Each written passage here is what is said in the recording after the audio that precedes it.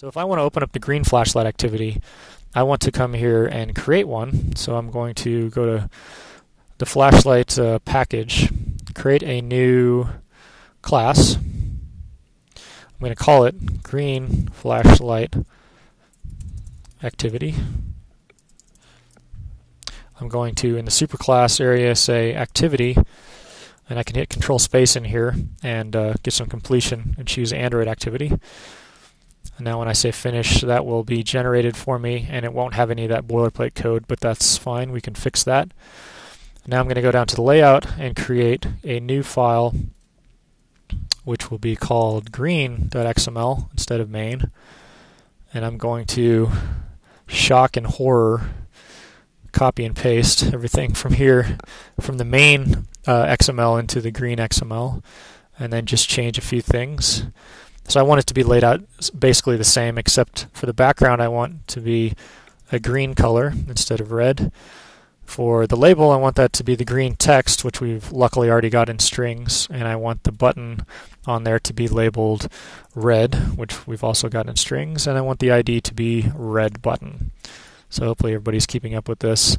Um, now when I save it, there is one error because I don't have a green color defined, so I'm going to copy this, this guy, and call this green and slip this uh, FF from uh, red into the green position. Now that should be fully green. And now if I look at the green layout, I will have a green background. I could probably change the, the change that label, but I'm not going to mess with that right now. Now we have enough to inside the green flashlight activity. I'm going to use an Eclipse shortcut, which is uh, under the source menu, override or implement methods. This is going to make it easy for me to, to add in a method that I want to override from the superclass, and that happens to be a method um, called onCreate, which we've already seen inside the red activity. So I can come here and click this off in the override implement method um, dialog, and that will be generated for me, which is nice of Eclipse, saves me some typing and I want to set the content view on this green flashlight activity to r.layout.green layout. And now when I once I get to the point of showing this green activity, when it gets created, it's going to show that, that green layout that we just created. Now to actually get to that point, inside the red flashlight activity, I am going to use an intent. So I'm going to define an intent here. I, I hit uh, control space that will um, import it. I'm just going to call it intent. And I'm going to create a new intent. Lovely Java boilerplate way of doing things. Red tape. Um, so okay, so the type of intent that we're going to look at today um, is constructed in the following format. First of all, I have to pass in a context, which an activity is a context. Um, all you need to know is that it extends context somewhere up the line. And I need to pass the name of the activity that, or the, I'm sorry, the class of the activity that I want to go to. So this isn't a specific way of constructing an intent that navigates from one context to another intent. Um, because I am in this um, anonymous class, to get access to the context um, red flash activity um, instance of this, I have to prefix it with the class name, which is just kind of a, another bit of Java boilerplate there. But then, because I'm going from this context to the green flashlight activity, I give it the class of green flashlight activity dot class, and that tells it that I want this intent to navigate from the current context to this activity. And then to make that go, I just need to say um, start activity pass in that intent, and now that should work. So let me compile that or and deploy that to our activity. Or I'm sorry, our uh, our this guy. What's this guy called? Emulator. emulator. That's right. Somebody else said simulator. Apple calls it simulator, and Android calls it an emulator. And I always interchange them, and I don't know why they're called different things. So, um, wait for it. Are we ready to click the green button? I'm Gonna click it. Oh no, there's a error. And I was expecting that. So let me show you the other thing that you need to keep in mind every time when you see this error or when you're creating an, an activity. um, Android only knows about activities that you define inside of the manifest. So I'm going to go open up the manifest. I do this I do this so many times I wanted to make sure that we all see it. Inside of the application tag, we already have an activity for the red flashlight activity, but Android doesn't know anything about the green flashlight activity. So I'm going to copy paste this guy down here, tab him over, and make sure that Android knows that we are expecting a green flashlight activity to be um, included in our application. And this label is going to be the title, by the way. So, uh, and it closed this guy. Um, so this label is going to be the title. We'll just leave this t- uh, to the app name, which is just fine. Now when I run this, and the activity starts, I press green, and I get the green activity with no errors. So one more thing, and we will be done with the code, and then we can ask questions. Um, I'm just going to copy paste this guy too, because I want to do the same thing here. Basically, whenever I click the red button inside the green activity, to call this so I, if I save this file, um, it's going to be confused about a few things, but that's fine. Uh, I'm going to cut this code out.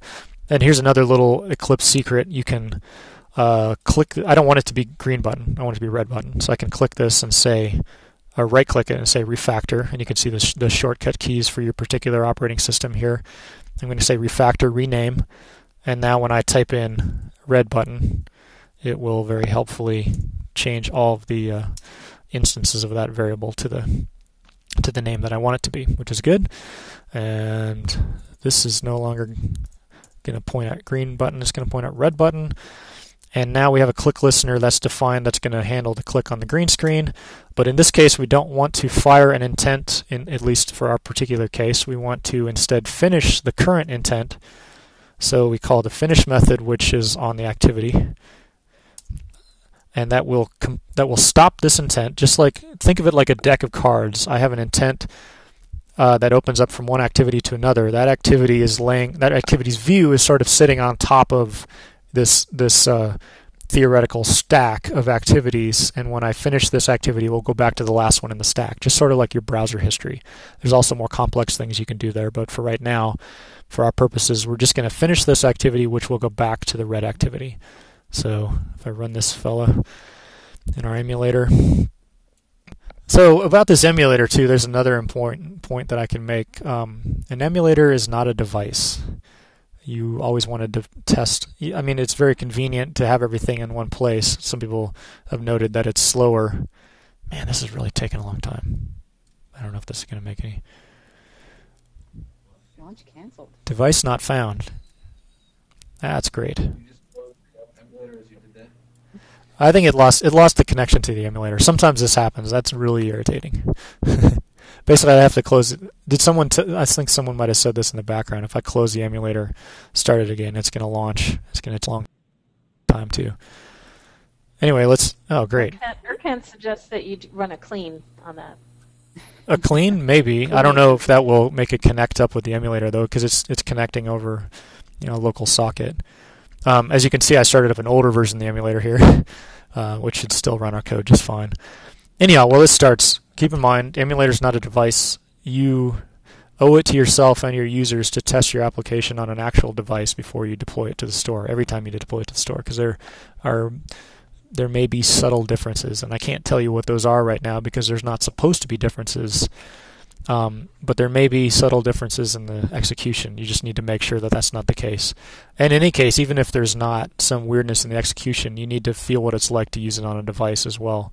Um, because your emulator, you can do things like uh, limit the bandwidth speed, so simulate a, a, edge connection instead of a 3G, but you can't simulate um, how slow it runs, and it's going to run with the full power of your local processor. So you you need to feel what your device is going to be like chug or what, what the experience for your user is going to be like chugging on on, on a device and not on your desk your desktop and and little things like you know tapping around with your finger as opposed to a mouse okay well let's just take this for granted while it starts up that's going to work because my code always works right and go to questions hi can you post again the code so that people can take a look at the code while we're answering questions in the background? Sure. Uh, where am I? Well, this is at least the green activity. I think it's just taking a really long time. Yeah, it's it's it takes a long time to boot up. Okay, there's some So wait, we had a couple of couple of questions from people about the r.id and when that's created. Um, I'm not sure what you mean by created, but the it's created the first time. I, I guess if you mean by created, like it becomes something that uh, Android takes noto- notice of and puts into the R file for you to use. Mm-hmm. It gets created whenever your project is built, and I guess I guess uh, there's an implicit assumption here that um, what I'm doing in, in Eclipse is I have this under project, I have build automatically checked. So every time I change a resource and save it, Android uh, the the Android IDE thing rebuilds my project and it will pick up any changes to resources and change that R file every time I save. Um, you can turn that off if your build is taking a long time. Uh, I worked for a company called Brightkite for a service called Brightkite, um, which is sort of like a Twitter with location, and we had an Android app, and that thing was huge. It, it, there's a lot of stuff in there, and so the builds were kind of long sometimes. When I was on a machine with some low resources, I would often turn off that build automatically, and sometimes forget, you know, when when I added a new resource why it wasn't working. Um, to use it, like reference it inside Java code, I needed to just go build the project. Um, so that's that's when it happens when it, when it builds. Okay. Did the uh, emulator start up? Yep. Yes. There we go. Now clicking red goes back to. I mean, it looks like it goes back to the red activity, but it, what it really does is finish the green activity, which just pops it off the stack there, and goes back to our red activity. So, questions? Other questions? Yeah.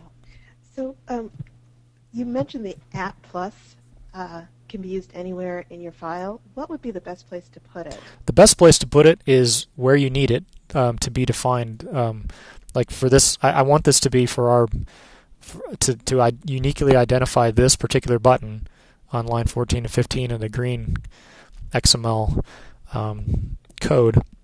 So I want to define it there um, because that's what it references.